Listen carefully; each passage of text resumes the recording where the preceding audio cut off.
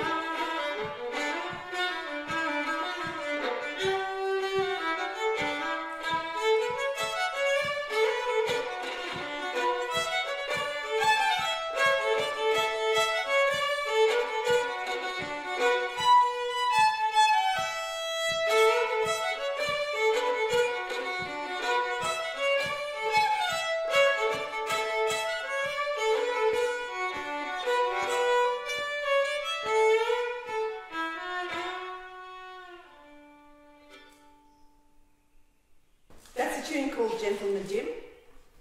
Sort of a slowish reel, I suppose, maybe, uh, in D, and then it goes to whatever, F sharp minor. And I wrote it for a wonderful man from Maldon in Victoria who was a pillar of his community and helpful to everybody, loved by everybody, and spent the last, I think, 20 years of his life in dialysis and always looked on the bright side of life, counted his blessings. So it's Gentleman Jim, and you can hear that from the start of the tune. Da da da da. It's for him.